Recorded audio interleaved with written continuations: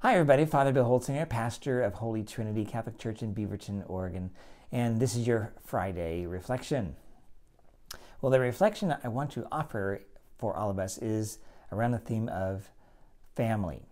That is, we as a parish, as Holy Trinity, are a family of believers. And how are we a family? Well, technically speaking, we are a family by baptism, and through baptism, we are then grafted on or adopted into the life of Christ, and then he becomes our brother in this spiritual sense. And that means then our Father is uh, truly our adopted Father, uh, and he, we are his adopted sons and daughters. Now, as a parish community, I wonder if sometimes we don't quite grasp all that, because there's consequences to this reality. Uh, the, the fear is when we don't have the sense of family, we are more like consumers a consumer is someone that goes out and just will shop around and will look for the best deal, right? And if they don't get what they like, they'll move on to something else, another uh, business or another product. This is not how we should be church. We need to then be family, and as families, stewards of each other. Uh, here's some scriptures. I just want to share this with you. These are two scriptures. One is from Ephesians uh, chapter 2, verse uh, 19. It says, so, so then you are no longer strangers and sojourners, but you are fellow citizens with the saints and the members of the household of God, built upon the foundations of the apostles and the prophets, Christ Jesus himself being the cornerstone. And of course, it is Jesus who brings us together. It is Him who is our center. He is our brother in this adopted sense. And but be mindful, that doesn't mean then that we're uh, just strangers. In fact, we may not know each other, but we are being called actually by this to get to know each other better. And you know, one of the wonderful ways that Holy Trinity has done this, uh, and I applaud everybody, especially those folks who do our newcomers welcome. I just had, I just went to, I think the third one we've had since I've been here, and it was wonderful. Lots of people there. People are coming to our parish from other locations, uh, moving into the area and we give them an opportunity to get to know a real brief, an introduction to all the gifts and the, uh, the culture and the different ministries that are there. And it gives them an opportunity to then ask questions and they even get a tour of the campus, a brief tour of the campus. So this is a great way. I'm, you know, against it, I call it the economy of scale because we're such a large parish community. Um, we do this quarterly. That's not common, I think, in a lot of parishes, but that's a gift to us that we can do that. And I want to encourage us to continue that as well. And if you're new to the parish, be mindful. We will announce it but, uh, and put it in the bulletin when the next, if you haven't gone to one, one of the next um, newcomers social occurs, I'd encourage you to go to it yourself to get to know people. Because as long as we come to church and we're by ourselves, which maybe you might be, but you don't know anybody, it'll always seem big and a little cold no matter how warm the building is and no matter how beautiful the music is or hopefully the preaching, uh, it'll always seem a little bit, we'll be disconnected a bit. And that then can stir in that sense of being a consumer. And we don't want to do that. And I promise you, you don't want to do that either because when things are down, uh, we really don't need to be alone. We need to be accompanied, as Pope Francis shares with us. And I love that idea that we walk together. Uh, biblically, we say we are our brother or sister's keeper. Uh, that is not a rule that's supposed to be, you know, heavy, but we are to help each other out and get to know people. Um, for me, that's how I learned the community. Here's a case in point. I just learned uh, a couple days ago, actually it was Sunday night, about Lena Frost. Lena Frost is 102 years old and she was nearing death. And luckily, the, her grandchildren contacted the, our church and talked to Aaron, or Aaron talked to them, and in the course of time, we're able to determine that she needs to be given the sacraments for the dying. And so I got a call on Sunday night, and I was able to go uh, immediately to see her, and I would have never met her or really gotten to connect with her family. But because the family, knowing themselves to be part of our community, and also knowing Aaron, being connected, we're able to then allow this to happen. But I wonder how often this doesn't happen. How often maybe people are alone, they're not connected with a community, although they may go to our church, they don't connect, and so therefore we're unable to help. And so that's what family does, is we, we help each other out. Here's another uh, text I want to read to you. This is from Hebrews chapter 10, and this is verse 23. Let us hold fast to the confession of our hope without wavering. How do we do that? I mean, there's a lot of things that can be in our way. It can be sickness, it can be struggles, there could be problems in our nuclear family, our own biological families. It could be an issue with you know health. It could be a work thing. Who knows? But we're called to hold fast to the confession. That means then keep the faith. Be strong. It continues. For he who promised is faithful. It means Jesus is always going to be with us. And let us consider how to stir up one another to love and good works. That's what happened to me on Sunday. I didn't know that I needed to go see anybody except for someone let me know. And Erin, uh, you know, through dialogue with her, we were able to find out that that was something that we needed to do. It says, not neglecting to meet together, as is the habit of some, but encouraging one another, and all the more as you see the day drawing near. The word the day is considering the day when Christ comes.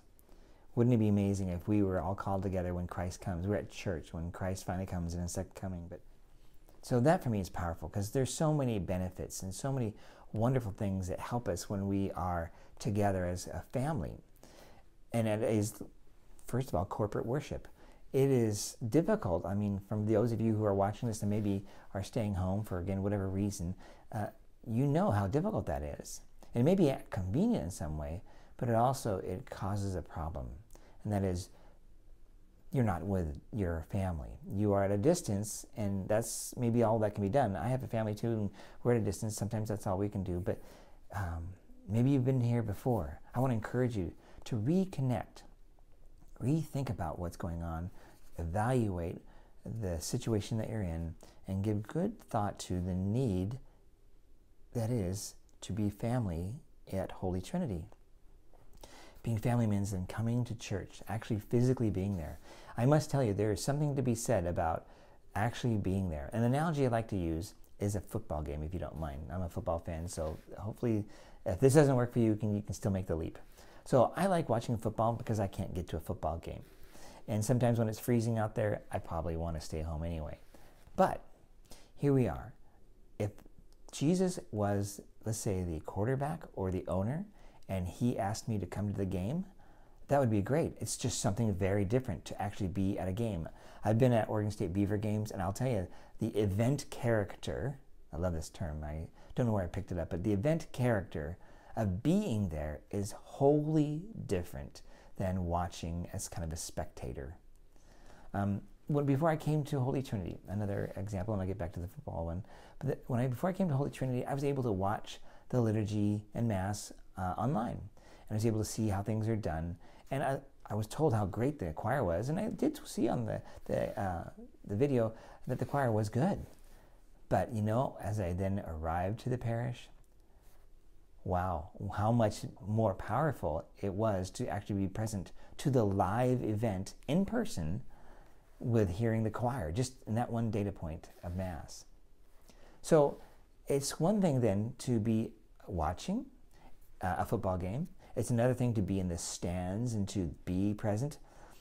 But even more so, this coach is wanting you to be and I to be in the football game. So if Jesus is that person, he's invited us to not just be a spectator when we come, but to be fully involved, mind, body, and soul. But we can't do that if we're not there. It is something different than when, for example, when we say, let us show the sign of peace and we turn to each other and let's for me, from my perspective, I see everybody. It's warm. It's welcoming. This is where we, we, you know, reconnect our bonds just before receiving communion, and then comes what I'll just call an altar call, the Catholic altar call. We have every Sunday Mass. You can't do that if you're at home, right? And so when we have this altar call, we come forward, and we are with our brothers and sisters, our family members, and we come to see Jesus Himself, and He gives Himself to us and we receive Him truly, fully, sacramentally in the Eucharist. Now, when we watch online, we can, there's a little you know thing we put up on the video there for a spiritual communion, and that's maybe the best one can do when one can't be there. But that's the question I want to encourage us to say and ask ourselves. Truly, can I be not be there? And maybe that is the case. But maybe I need to rethink. Maybe now is the time.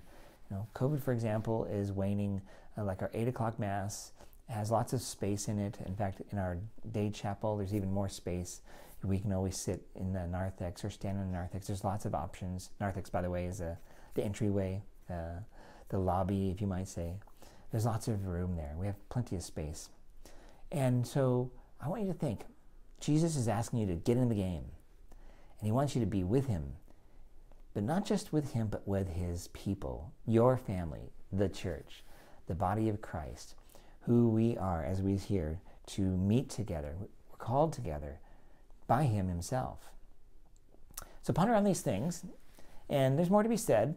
And I'd love to hear your comments or, or thoughts or questions. So uh, as you watch this, uh, maybe through uh, maybe YouTube or Facebook, please go to Facebook. That's where the comments are, and and please send you know put some comments in there. Let's let's have a conversation. You can also email me at father excuse me not yeah father bill at h-t.org. I got lots of emails, so I'm pondering which one am I talking about. So this is the parish one. Father Bill, F R B I L L, at h-t.org. And I would love to enter into a dialogue with you or maybe even call you up and have a conversation. And uh, this is how we begin. This is how we start the conversation. This is how, if you've been away, maybe uh, have a conversation about um, what's been going on with you. I'd like to get to know you. Maybe you want to have a conversation about um, the things that are going on with you. Maybe why you're staying away, and maybe I can encourage you. You know, I don't want to push you. Obviously, if there's true real issues, there may be a real need to to lay low for a little while. But know that we love you, uh, and when you're gone, we do miss you. Somebody knows you, and that's what we're called to do: is to know each other, so that we can grow together and then go and tell people about what we've experienced. That Christ is present in our midst through the community, through the word we hear, and through the Eucharist. Oh, I almost forgot something, and that is this weekend is World Marriage Sunday or World Marriage Weekend because you know, Sunday is one of the days. We include Saturday in that.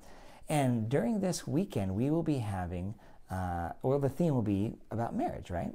And I haven't worked out the homily yet, but that's going to be something of the theme. But during or after the homily, after the creed, we'll be then having a renewal of your love for each other with your spouse. And it'll sound similar to your vows, but not exactly the vows.